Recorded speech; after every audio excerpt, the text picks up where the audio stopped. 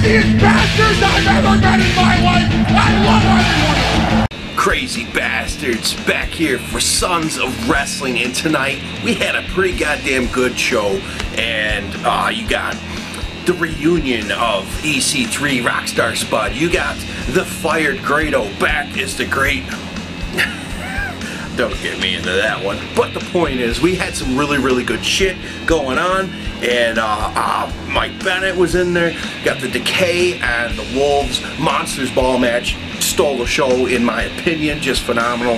And uh, but we started off EC3 running into Dixie Carter, and she gives him his rematch next week in the Six Sides of Steel for his TNA World Heavyweight Championship against Matt Hardy. He thanks her, so we're back on that page, and he still has a little bit of that arrogance. And then he goes, uh, he needs to take care of some business tonight. Comes on down, and he did say he has had a chip on his shoulder for two and a half years, but now he's got some other business to take care of. He definitely wants to take care of Matt Hardy, but Tonight, he wants to punch Tyrus in the face. You got Tyrus and Matt Hardy.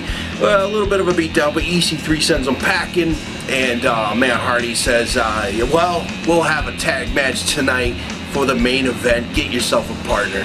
And throughout the show, EC3 does not plan on having a partner, and he wants to go at it alone and take both these guys on. And uh, that's a pretty cool way to start things off.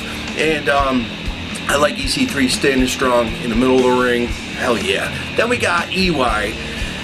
Thinks he's God, the king of the mountain, and this and that. Anyway, you end up with EY versus James Storm. And, um, of course, the outside interferences with Bram, and then eventually Roode. It just turns into a crazy brawl, and we get a double countout. And the brawl just continues and continues. So hopefully we have some uh, continuation here going into next week. Spoiler free, folks don't let me know because I don't read spoilers on TNA. Then we got Mike Bennett versus Mandrews, and the cocky Bennett picks up the win. Hell yes! And uh, well, earlier you Drew Galloway had this some kind of exchange. Anyway, Galloway comes running down after Mike Bennett refuses to stop beating down Mandrews after he picks up the win, and uh, Drew Galloway sends him running with Maria Kanellis, but he's laughing the whole way. So it looks like a feud right there. Awesome. Hell yeah, I can't wait for that.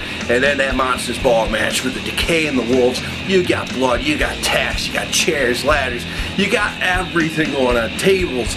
And um, what I really, really dug at the end of this match, Rosemary goes to spray the mist onto Eddie Edwards. He catches her by the mouth, holding it in. Davey Richards sucks it out of her mouth, and then he misses her.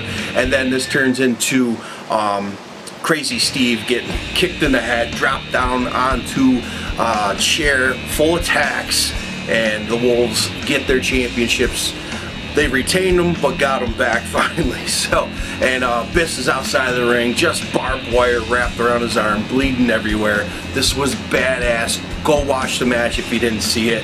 Uh, just killer. Yeah, I like the way Rosemary set up all the tacks on top of, I think it was Davey Richards, and he, uh, Crazy Steve goes to blast him in the head with another chair. Oh, just awesome shit. And good, awesome. And I'm loving the decay. What do you guys think of the decay? Comment below. And then um, backstage, you had this one dude come. Uh, I know it's, it's, that dude from fucking Ring of Honor. Um, I don't watch a lot of Ring of Honor myself, but I noticed the guy right away. I just seen that backstage segment, and he's coming for Rosemary. They got some unfinished business or some shit. Comment below if you know the dude's name. I haven't had time to look it up, but I do remember he was involved in Ring of Honor. Uh, some yeah, I don't remember. And I like I only watched like three episodes of Ring of Honor a year, so sorry. then we got the Dollhouse, Rebel, of course, ringside, and um, against Gail Kim, Madison Rayne. This is after that a whole awesome Kong bullshit that happened, she was sent home and then fired. But uh, this is just turns into uh, roll-up victory for Madison Rayne. Then the Dollhouse go to beat down Gail Kim, Madison Rayne, Velvet Sky in for the save. We need some new, new knockouts, please. Because this same batch of girls intertwined is getting really old and boring. So that's just my opinion. They're great wrestlers, but it's time for some new knockouts. Then we got Eli Drake and Jesse Godderz versus Odarg the Great, Mahabali Shira. Odarg obviously is great, oh, and ridiculous that he is. Um, this is Eli Drake just pissed beyond because he was just fucking fired. So why the fuck are you there? Get out of there. That makes Feast and Fire, Feast or Fire just absolutely no.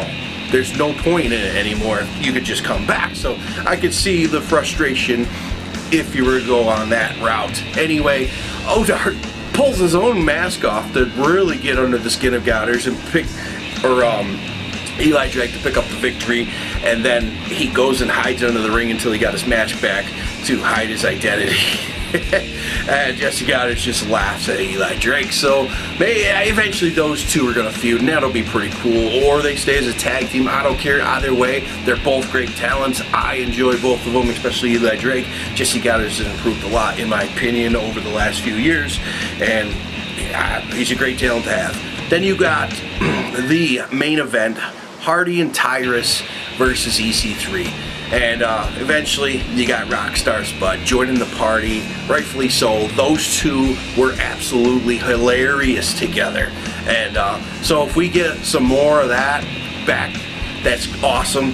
And like I said, EC3 hits the one percenter after uh, Spud took out Tyrus outside the ring with a low blow and picks up the win here. Awesome. And then uh, we get a stare down between the two because EC3 really didn't want any help. He wanted to do this on his own. So Rockstar Spud rolls out, gives the moment to EC3, finishing off Impact Wrestling. Hell yes, guys. Comment below, hit the thumbs up, check out the merch. The Decay shirt that I created uh, a few weeks ago now. And Rosemary actually retweeted it. She liked it, I guess. Then, um, yeah, let's look forward next week.